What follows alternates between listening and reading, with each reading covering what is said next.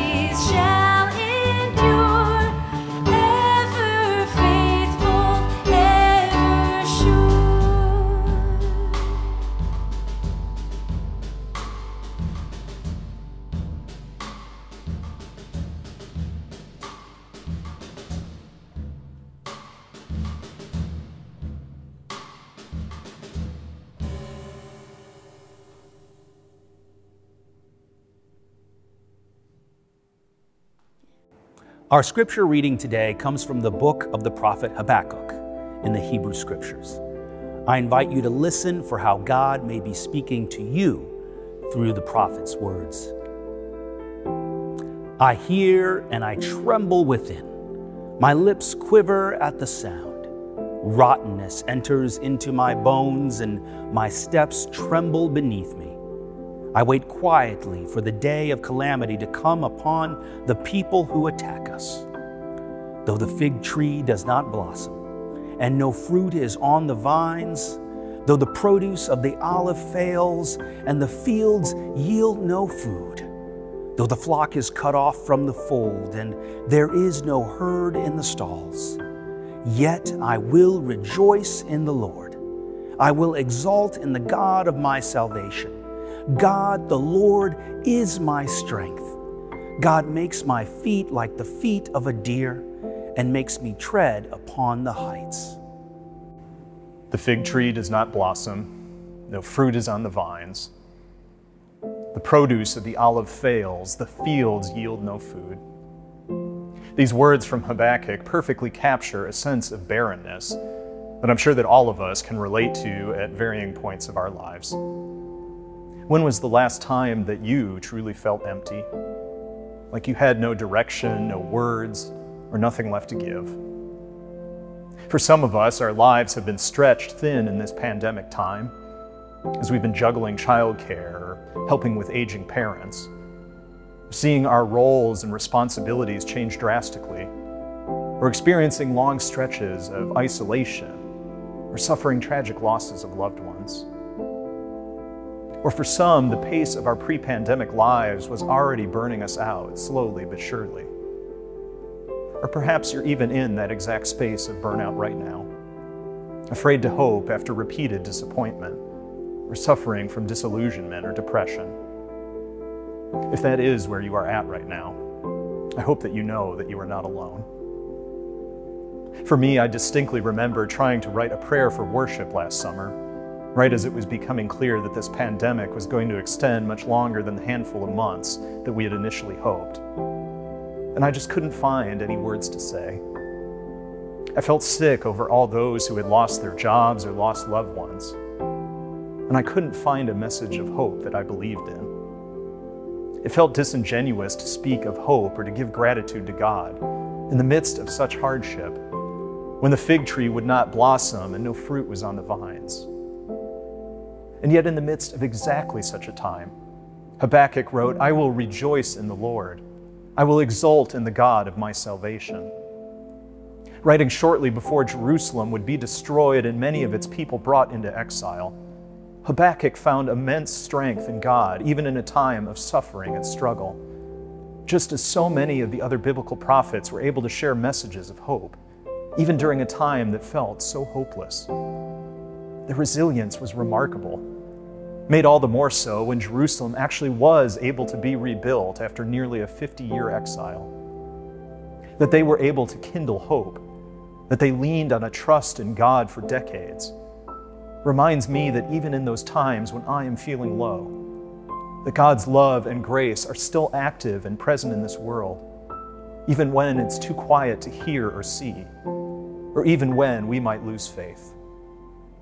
There's a famous Japanese proverb on resilience that I've always loved, which says, Fall down seven times, get up eight. And what I appreciate most is how high that number is. We will fall repeatedly. We will feel empty often. We will fail inevitably. But God, the Lord, is our strength, able to get us up again and again, even during those barren moments or seasons in our lives. So let us rejoice in the Lord and let us exult in the God of our salvation. Amen. When it comes to prayer, I'm reminded of the lyrics of folk singer James Taylor. When you're down and troubled and you need some love and care, and nothing, nothing is going right, you just call out my name and you know wherever I am, I'll come running. Anytime, anywhere, we call on God to be present with us in whatever feelings or state of mind we have, or whatever our situation may be, God will come. So I invite you in this moment, wherever you may be, to join in this time of prayer, knowing that God is here. God of beauty and grace, though the world you created is indeed good, there is much that troubles and grieves our hearts this day. Around our world, many call out to you, asking for violence to stop, for poverty to be replaced by abundance, for your vision of equality and peace to supplant unjust relations. And we join with each of them in their cries for justice and their pleas for safety and their desire for flourishing. But the hunger for goodness that you intend for this world is not just far off, but also near. So we join our hearts in prayer today for all those we know who are in a season of struggle and challenge and need your strengthening to endure. We pray for those who have become sick during this pandemic and those who seek to care for them.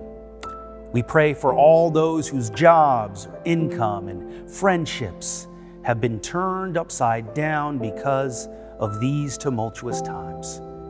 Help us to claim the future that we can only see partly, but which you most assuredly know in full. May we see with the eyes of faith and lean not simply on our own understanding.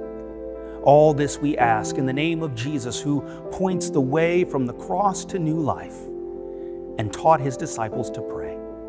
Our Father, who art in heaven, hallowed be thy name.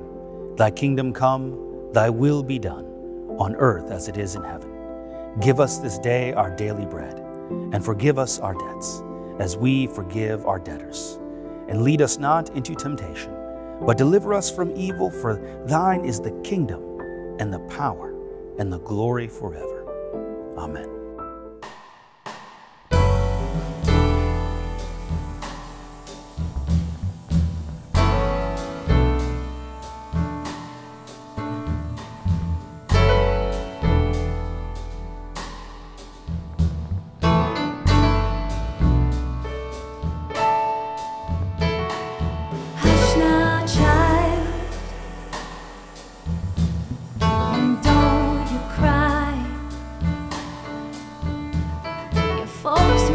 Understand you.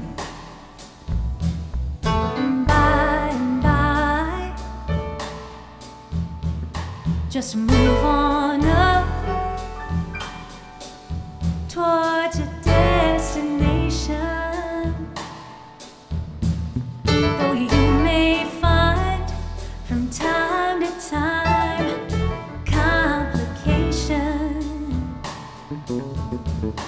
well, bite your lip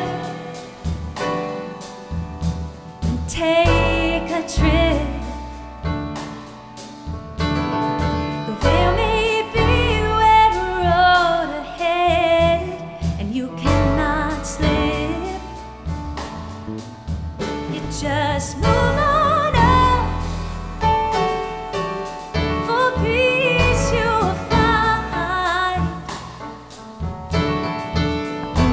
steeple of beautiful